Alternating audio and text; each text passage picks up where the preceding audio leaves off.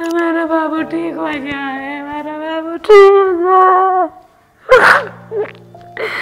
मैं क्या करूँ, मेरे बाबू ठीक हो जाए सबका दुआ लग जाए, मेरा बाबू ठीक हो जाए।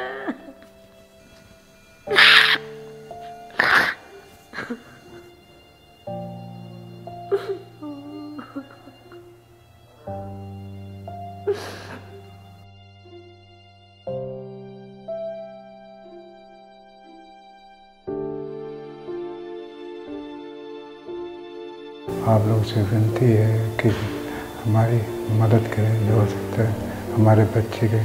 मैं उसको देखता हूँ मैं देखने की शक्ति नहीं है देख नहीं पाता हूँ। मैं गार्ड की नौकरी करता हूँ। तेरह चौदह हज़ार सैलरी है मेरी। मैं कहाँ से करूँगा ऐसा? मेरे आप लोगों से हाथ जोड़ी निवेदन है। विनती है हमारी हेल्प करें।